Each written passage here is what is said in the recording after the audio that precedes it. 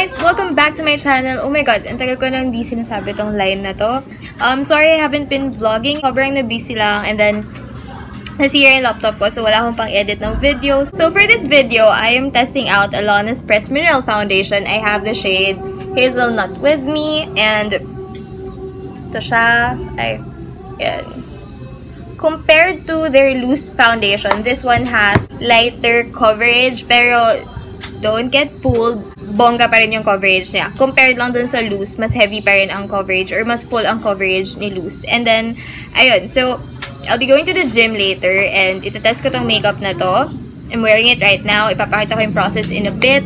And at the end of my gym session, ipapakita ko sa inyo yung update kung ano na bang itsura nung Foundy. Kailangan mag-hi kayo sa camera. Balikat ko. Oo, kasi mainit. Ah, Ako rin. Babakunahan ka ba?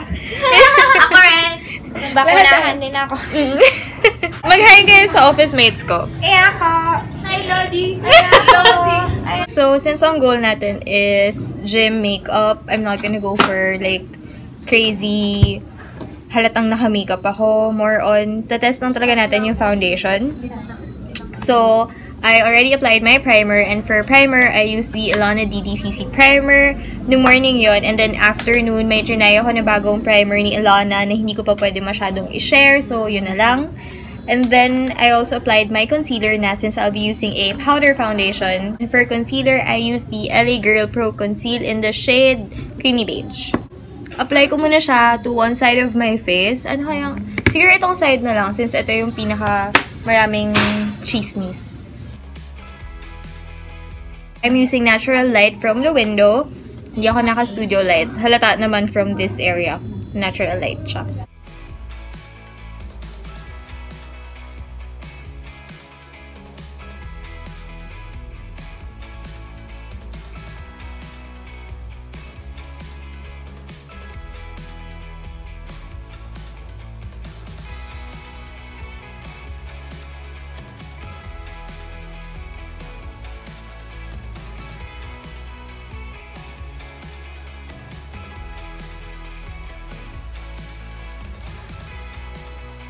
So, ayan guys, yan yung coverage ng Press Foundy. Actually, mas may coverage yung loose foundation, but I prefer this one kasi mas compact and mas on the go siya. Nabawasan yung redness ko. Medyo na pantay niya yung color ng skin ko. So, ayun. Ang init. By the way, guys, brown out sa office namin. So, yung test talaga nito is paano mag-apply ng makeup habang pinagpapawisan ka.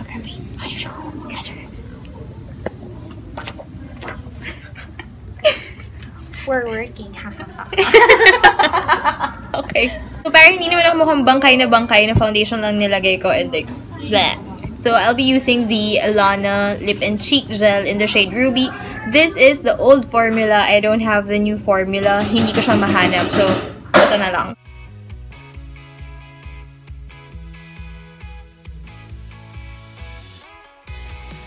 As you can see, very easy to blend.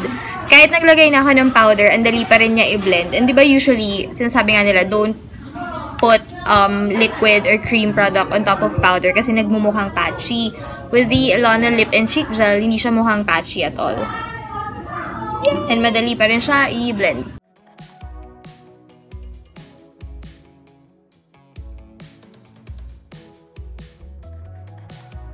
As you can see, very pigmented. Napakapal yung lagay ko dito. So, i-drunk blush ko na lang.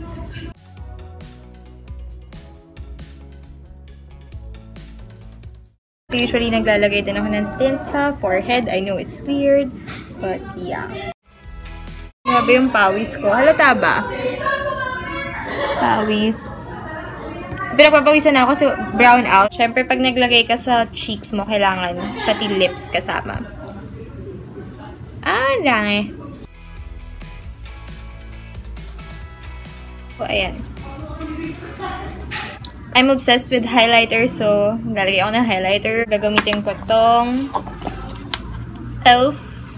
na blush gems. Ito ko siya lalagay. Say hi to Bomb. He's our office cat. She? She. She pala. You're a girl. I forgot. Oh, sorry. okay. Ito yung highlight, guys. Can you see it?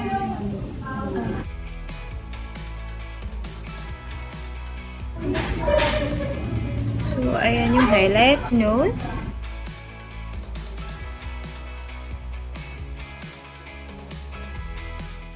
So, ayan. Ito na yung makeup ko for today. We'll update you pagdating doon. Mag-video ako na kung ano yung nung makeup and then mag-video ulit ako na kung ano yung itsura ng makeup after gym.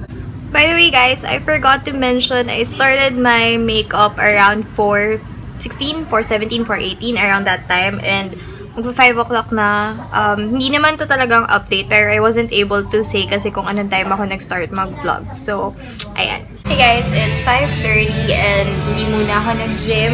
Kakain muna kami. I'm with my office mates. Hi! So, I will be back pag nasa gym na ako. Hey guys! So, nakasa-music ah. Kakadating ko lang sa gym. I'm with Anna.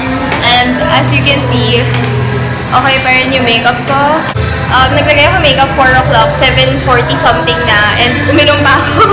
Isang bote lang naman, pero yun, huwag nyo gagawin nyo. Huwag kayo inom, tapos mag-gym. Anyway, nandito na kami, and I will update you in a bit.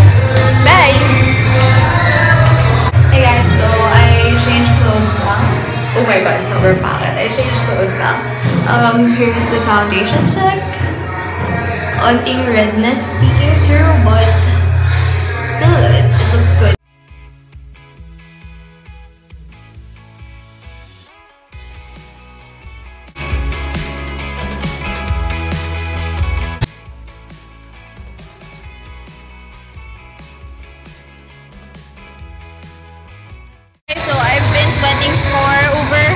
minutes now. As you can see, the sweat is intense but I'm just wearing new Foundy. And actually the tint is still there except sa lips kasi nga kumain siya. Uminom ako kanina. But yeah, Foundy is like awesome pa rin. It's 9.0 something. Nasa 9 o'clock. Okay, anyway. It's 9.05 and I've been wearing this foundation since 4.30, 4.15. So, as you can see, it still looks great. Um, nandiyan pa rin yung coverage na nag-peek through lang to ng onting-onti. So, yan yung itsura ni Ilana after gym, after hours, and after commuting. And as you can see, sobrang tested and it's really a good foundation. And partida guys, press pa lang to. So, paano pa yung loose foundation? Mas heavy yung coverage.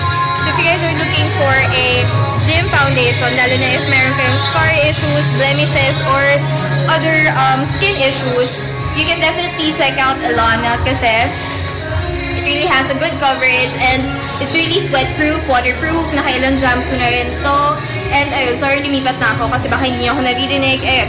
So basically, this is the end of my vlog. I hope you guys enjoy this. And salamat dahil dinamayan niyo ang aking pag-gym. Thank you so much guys for watching. And if you haven't subscribed yet, please do subscribe. And if you haven't liked this video yet, please do like. And lastly, whenever you want to see um, yung mga ganap sa akin, just click the bell button down below. And lastly, don't forget to follow me on my Instagram at MiniMachonika. Thank you so much guys for watching. Bye!